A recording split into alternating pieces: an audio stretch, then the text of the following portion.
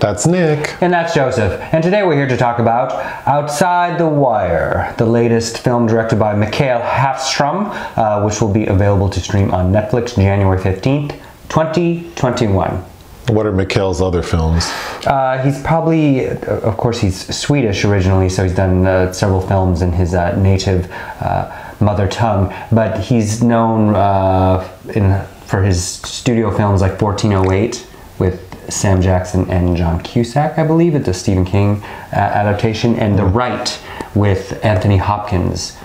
Which I know you've seen and probably remember none of. Oh, he also directed the first Escape Plan with uh, Stallone and Schwarzenegger. I'm familiar with that. So there you go. This film stars Anthony Mackie and Damson Idris. who I liked. Okay, Dampton? Damson. Like Dam- Dam, like Damson. Damson. Damson plays a character named Lieutenant Harp. Mm-hmm. Okay, so it's 2036. Mm-hmm. There's some like civil unrest in Eastern Europe somewhere, and Lieutenant Harp is part of like U.S. military, mm-hmm. and he is like a drone operator. And there's like an incident occurring in the very beginning of the film where there are like some insurgents and some soldiers on the ground, all these terms I don't know. And he's in charge of deploying like a bomb to the area. And he's waiting for orders because there are men on the ground and they don't want collateral damage. But Lieutenant Harp takes it upon himself to release the weapon To deploy. Yeah. mhm. and ends up killing two of his own men, but he believes saved 38. And had he not acted, all 40 would have died. But he's reprimanded, and his punishment is to be sent to a like training facility where basically he will learn how to behave. This, um, it's a military outpost, uh, actually. Where he'll learn how to follow directions. Yes, because that, that's kind of the thrust of the film. He's facing court martial, and uh, during that uh, interaction, it's made clear that he has never been in actual combat. Hand to hand Yeah. combat, right? So um, Doug Stamper from House of Cards, i.e., Michael Kelly. he is sort of like the person in charge, and then he says you're going to be working with old boy Leo, played Captain Leo. Captain Leo, played by Anthony Mackie. We find out right away Anthony Mackie's character is like a cyborg. Fourth generation biotech, we're told. Okay. Which not everybody's aware of, apparently. no. And so when he ta- and when he takes his shirt off, he has kind of a Looks like he's like an aquarium because you can see through it. yeah, like like he would be next round Black Panther. He's not that cool, but yeah. Um, so outside the wire, so they're like this military outpost. Um, they're safe there, but once they leave, they're subject to like attack. So Captain Leo explains to Lieutenant Harp, like, well, we're going to try to capture this character named, Uh, Victor Koval, who's like an Osama bin Laden type character, but he's played by Pilou Asbæk, uh, the Danish uh, actor. who I think looks like Joshua Jackson. Yes, but you, you actually you should know him from Overlord, I remember that movie being good, but I don't remember him. and he's very good in uh, a hijacking by Tobias Lindholm. So Leo's mission, Leo's gone rogue. So that's the twist of the film. This cyborg, this AI thinks that it knows better, like better than humans, and mm-hmm. it Leo, the cyborg has decided that it needs to destroy the United States basically. So he's been working on getting nuclear warheads or like access codes to these warheads. That's why he's so he's kind of in cahoots with the bad guy, uh, whatever his name is.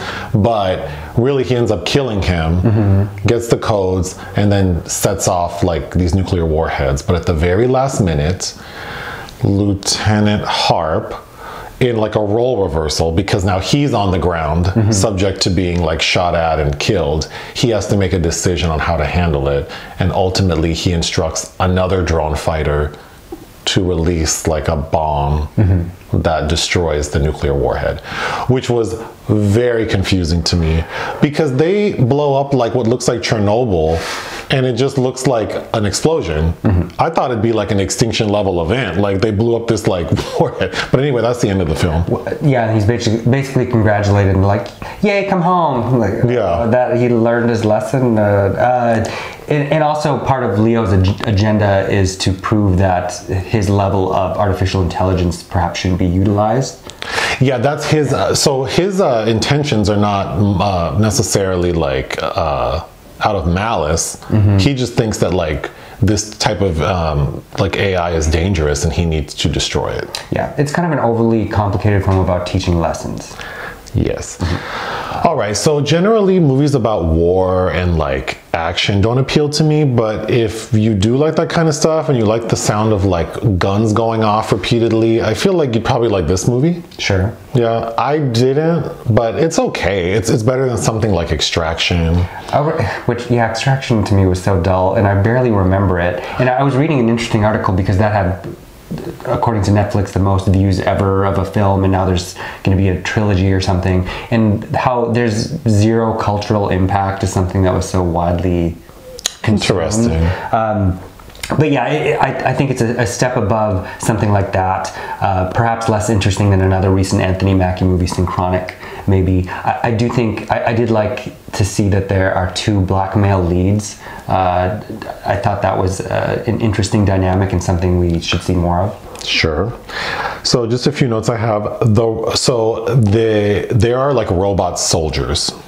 The Gumps. And they're called Gumps, Mm-hmm. G U G U M P S. And then you had said that they're like, um, I said it looked like Short Circuit on steroids. well, because they're kind of bottom heavy. Yeah, they are bottom heavy. These robots look like people, but they don't have heads, and then they're bottom heavy and hippie, like, Yeah, they got some thick thighs. and they're kind of bow-legged.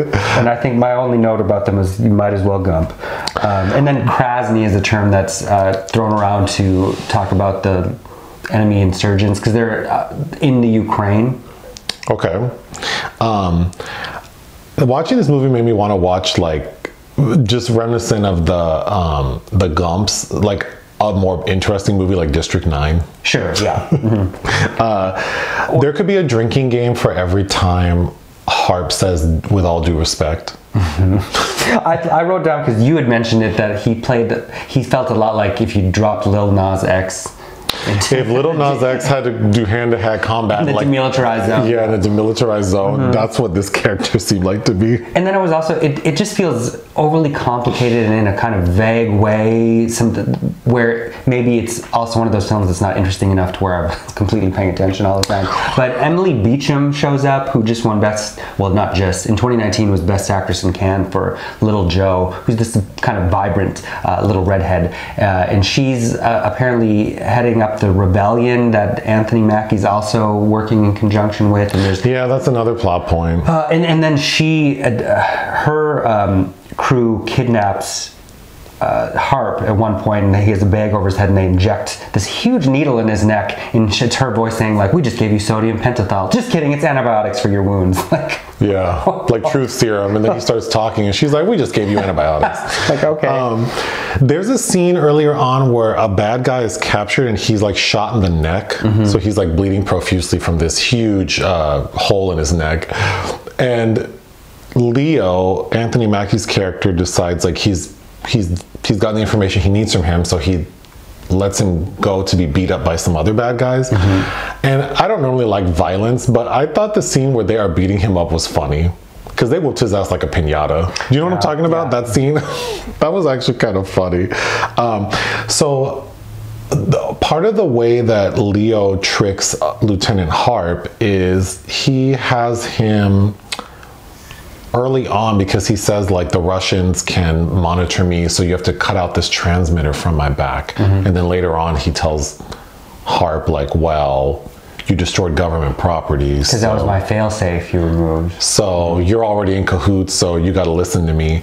I feel like the entire premise of like Harp being sent to this thing and then being combined with Leo and then their little shenanigans, it was a little flimsy to me. I think it really kind of falls apart in the final stretch there, especially with how it ends. Like, okay, you're coming home now. Like, well, doesn't that have to be decided? Oh, because when the when the drone drops the missile or whatever that device is on the nuclear warhead, um, the timer says there's like 50 seconds left, and then Harp starts running, and. I mean, I don't think Jackie Joyner Kersee could run far enough in 50 seconds to get away from that kind of explosion. Mm-hmm. Yeah. But I don't know. I didn't quite understand. I assume if you like ignite a nuclear bomb, it would explode like the bomb. Mm-hmm. But I'm not a astrophysicist or whatever. I don't know. Anyway, what else? Uh, really, that's about it. I- Again, I think, as I did mentioned earlier, it just feels like kind of a, a big lesson for this character who's now on the other side of um, the situation he was at at the beginning. In, in that collateral dam, you know, that human li- when human lives are at stake, we really can't treat it like we're playing a video game. No, we cannot. What would you give this film? Uh, two out of five. I would give it two and a half out of five. I think it's well put together and the it looks pretty cool. Like the special effects look pretty good. Good enough. Good, Uh, yeah, it's just that there isn't anything innately memorable that wanted to draw me back to it ever again. No. Uh, but yeah, All right. Bye. bye.